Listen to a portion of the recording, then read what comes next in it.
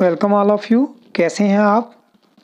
हमने fifth class की EVS की बुक लुकिंग राउंड या आसपास के chapter number 19 a seed tells a farmer's story किसान की कहानी, बीज की जुबानी के पहले तीन भागों में जाना कि कि आज से कुछ समय पहले किसान अन्न उगाने के लिए अपने बीज तैयार करते थे। परंतु अब किसान मार्केट से बीज खरीदते हैं। अब खेती में नई नई तकनीकों का प्रयोग किया जा रहा है। बैलों के स्थान पर ट्रैक्टर से खेती की जा रही है और सिंचाई के लिए ज़मीन के अंदर से पानी खींचा जा रहा है। खेती करने के लिए पैसों की ज़रूरत के लिए बैंक से कर्जा लिया जा रहा है, जबकि मुनाफा बहुत कम हो रहा है, या फिर हो ही नहीं रहा। आज हम पार्ट फोर में कुछ और जानकारी प्राप्त करेंगे। इसके लिए आप अपनी बुक का पेज नंबर 178 ओपन करें, या फिर आप इस पेज को अपनी स्क्रीन पर भी देख सकते हैं। चलो कुछ और जानते हैं। दामजी भाई के बेटे हसमुख के बारे में Hasmukh to changed with the times. He is often tense and angry most of the time.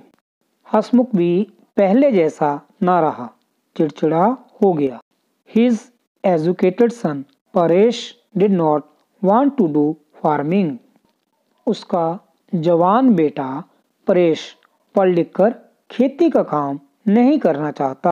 He now started work as a truck driver उसने अब ट्रक चलाने का काम शुरू कर दिया है। After all the bank loans still had to be repaid अभी बैंक का कर्जा चुकाने को है। Often Paresh doesn't come home for days at times he is away for a week कभी रात रात भर घर नहीं लौटता, कभी हफ़्ते भर भी नहीं। Two days back when he came home Paresh started looking for something वा he asked his mother where is Dadaji's wooden seed box परसों घर आया तो कुछ ढूँढने लगा। माँ से पूछने लगा वाह दादाजी का वो पुराना बीजों का बक्सा कहाँ है? It will be useful to keep the screws and tools for the truck truck को ठीक करने वाले औज़ार रखने के काम आएगा। Now do you understand why I told you my story आप समझे? मैंने तुम्हें अपनी कहानी क्यों बताई? ये कौन बोल रहा भला? बाजरे का बीज। आपको याद होगा कि बाजरे का बीज अपनी कहानी सुना रहा है कि उसे लकड़ी के बक्से में रखा गया था। What can happen to Hasmukh's farm after some years आगे चलकर हसमुख की खेती का क्या हुआ होगा? हसमुख देसी खाद या गोबर की खाद की जगह केमिकल वाली खाद डाल रहा है और खेतों में स्प्रे भी कर रहा है। तो उससे क्या होगा? तो उसके खेत धीरे धीरे वंजर बनते चले जाएँगे। Damji bhai's son, Hasmukh, choose to become a farmer, like his father. Damji bhai के बेटे हसमुख ने अपने पिता की तरह खेती करना पसंद किया। Hasmukh's son Paresh is not a farmer but a truck driver why would he have done so Hasmukh का बेटा परेश खेती ना करके ट्रक चला रहा है। उसने ऐसा क्यों किया होगा? क्योंकि हसमुख का बेटा एजुकेटेड है, वो खेती नहीं करना चाह रहा है। The seeds were not sure that what Hasmukh was talking what was really progress what do you feel बीज को शक था कि जो हसमुख के साथ हुआ, वो तरक्की नहीं है। तुम्हें क्या लगता है? क्या तुम भी बीज की तरह ही सोचते हो कि ये तरक्की नहीं है? हाँ खेती के नए तरीकों ने कुछ दिनों के लिए तो पैदावार बढ़ाई, परंतु उसके बाद खर्चे बढ़ गए और किसान कर्जों के नीचे दबते चले गए। इसलिए क्या इसको तरक्की बोला जा सकता है? Have there been any changes near your area which may be difficult to call progress what changes are these what are the different opinions about them क्या तुम्हारे आसपास कुछ ऐसे बदलाव हुए हैं जिन्हें तरक्की मानने में कुछ दिखते भी हैं? क्या? तो बच्चों, आप इसके लिए अपने पेरेंट्स के साथ बात करें या फिर अपने ओपिनियन जो हैं, वो अपनी कॉपी पर नोट करें। Read the report from a newspaper and discuss it अखबार में छपी रिपोर्ट पढ़ो और उस पर चर्चा करो।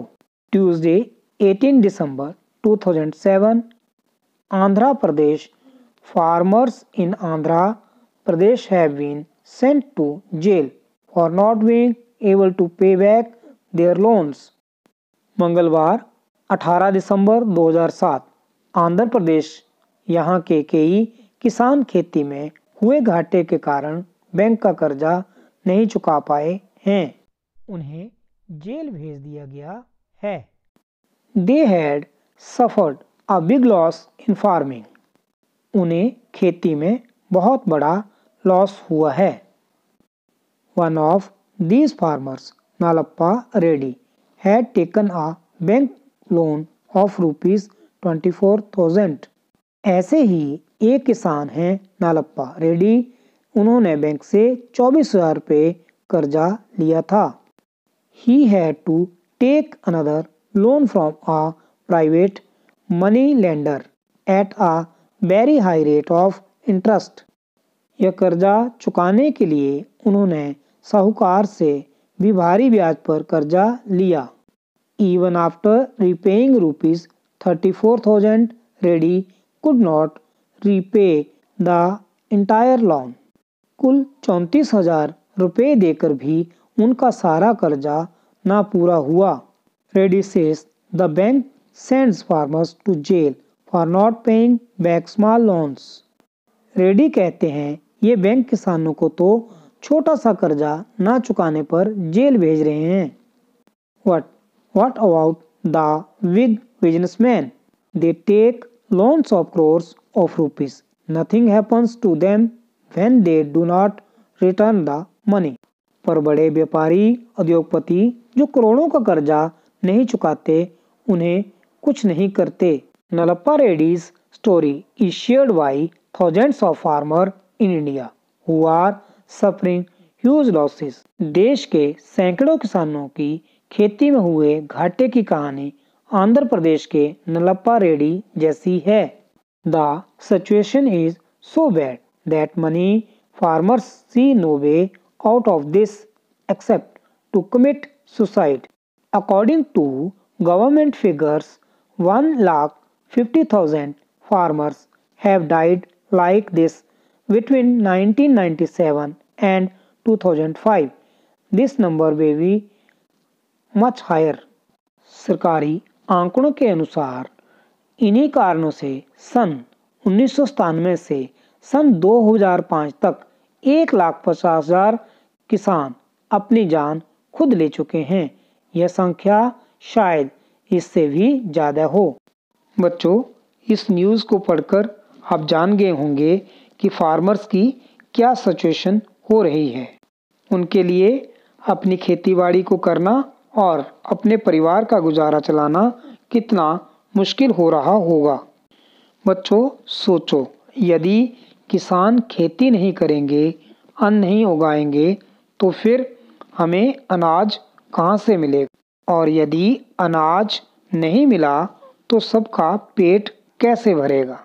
हमने इस पाठ में जाना कि बाजरे के बीज ने ये कहानी हमें क्यों सुनाई?